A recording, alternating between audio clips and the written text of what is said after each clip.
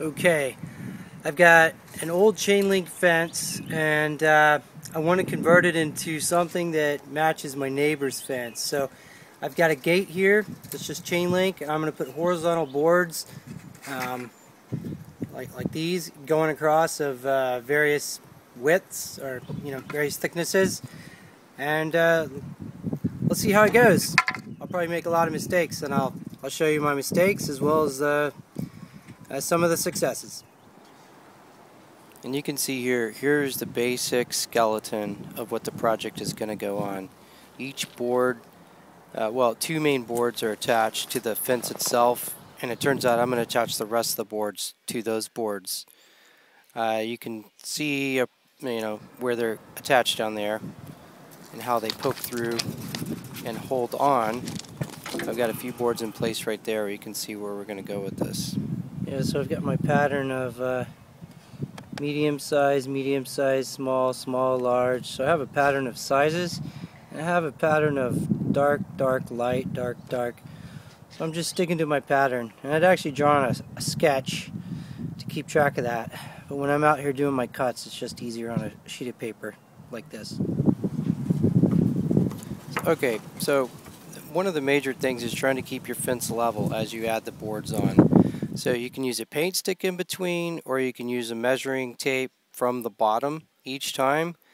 Well, I recommend both, but definitely the measuring tape will keep it level. The other thing is decide if you want to cut your board ahead of time on the table saw where your gate's going to open. I'll show you a lot of trouble it gave me in just a minute by not doing that. Yeah, so I finally figured out wood is bendable.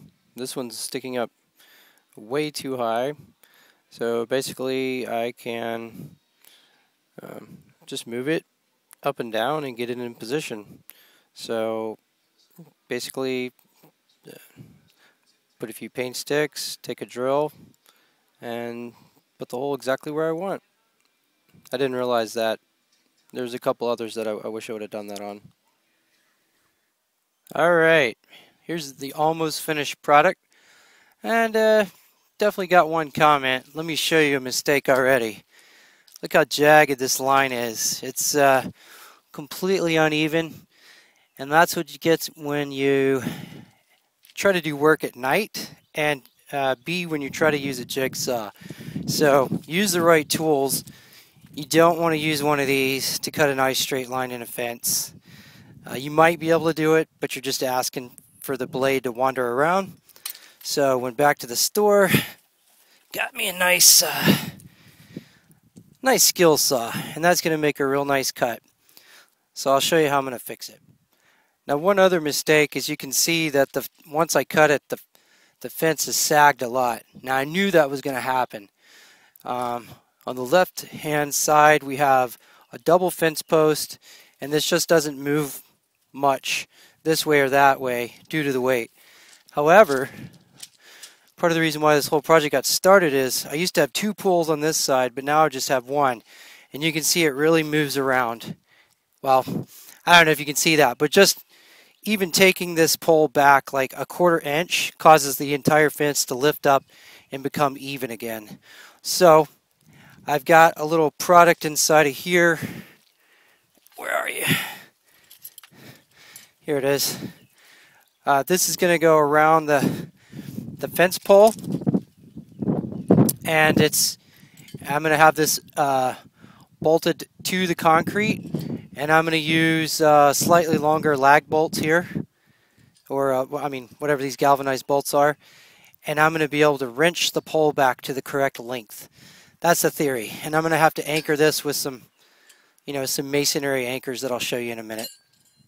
And finally, another mistake is look at my meandering bolts going uh, left and right. So I really recommend you get a ruler, uh, like a chalk line or something that you can erase later off of your boards because that's a really crummy job.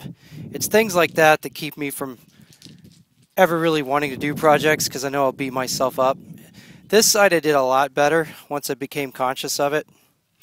So, you know, uh, and also, I made a lot of mistakes drilling extra holes, uh, mainly because Uh, sometimes back here on the fence components you'll hit metal. So, you know, it's just something to, to be mindful. If you can do a better job than I did, great. Uh, it's probably not, not hard to do. And finally, I didn't get the right size bolts. You know, three inch bolts going through two of these pieces of wood, just too long. But as you can see, the two inch bolts look super nice. I'll show you. I mean, I mean, look at that. See, that's a two inch bolt there, and that's the three inch bolt. I, I thought I was going to go through the entire metal for every uh, every one I was inserting, but I just wound up just going through the wood. So I'll probably go back to the store and get the two inch bolts and replace them, but once I'm done.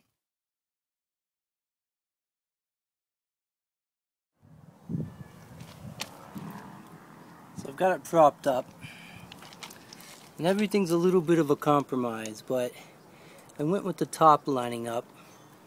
Yeah, you know, you see all the wood trying to trying to twist around. Nothing's quite perfect, but I've got it propped up. And now I'm going to put the wall bracket in place. And I'm going to do this before I do the cuts so I get as straight of an edge as I can. So now that I've got the fence propped up, my, my bracket actually touches the concrete.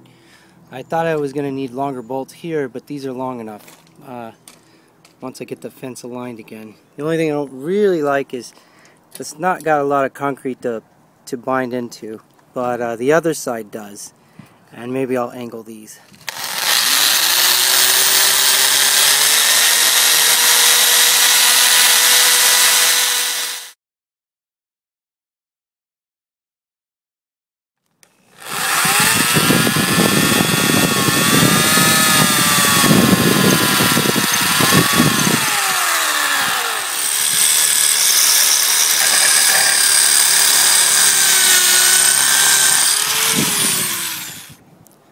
My cheapy masonry bits just melted down, so I can't stress enough, get a good masonry bit and get something to blow the dust out, or you're going to have a hard time getting the bolts in.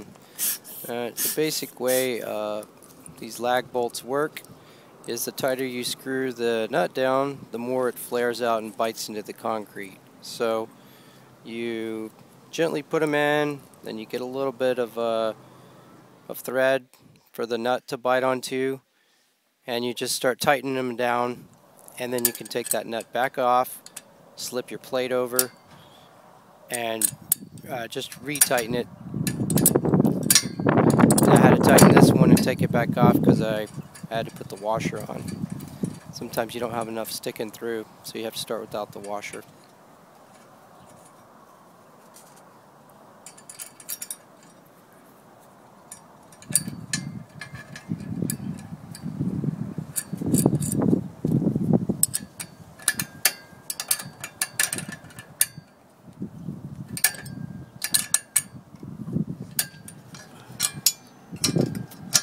So from the back side, this is where you're actually going to get your fence level.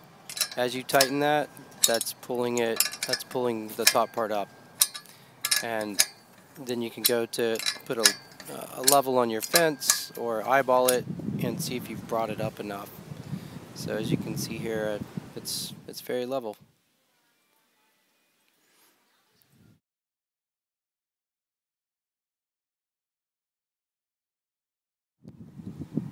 I'm gonna put this blade on.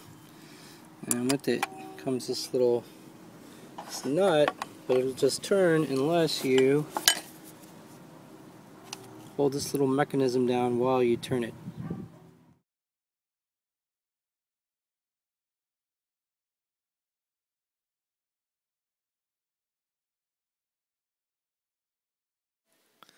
Okay, so sure, I managed to get this uh, a decently straight line with the Skil saw, but I still wanted to put a trim board on it for a final look.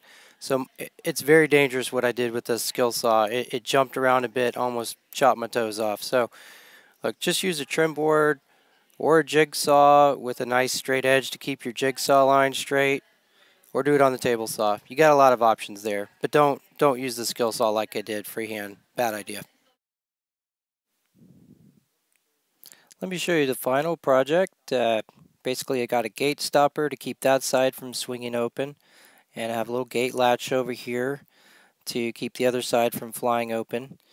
Uh, it was just a, a piece of metal from my old chain link that I took and I bolted through. Another really good reason to have a trim board is that's a great place for it to rest. Now let me show you what I did with the gate stopper itself. Basically, there you'll find straight pieces of metal that come off of your chain link that hold it together. And uh, there's likely a place where your gate used to have a uh, metal rod that would keep it from flying open. So I just bent this piece over, added a notch to the wood, and this allows me just to kind of slip it up when I want to open the gate all the way or put it back in place when I when I don't want that side swinging open. So it's pretty useful all around. It's been a usable design and stays in place. Well, that wraps up the chain link to modern wooden fence conversion, which you see right behind me. I'm pretty happy with it. I think if you just uh, pay attention to the how not tos, you know, mainly be real careful with your fingers and a circular saw, measure a few things, get some straight edges, watch your bolt links. I think you'll be happier even even so with your project. Until then, this is Travis Somerville signing off with another How Not To project.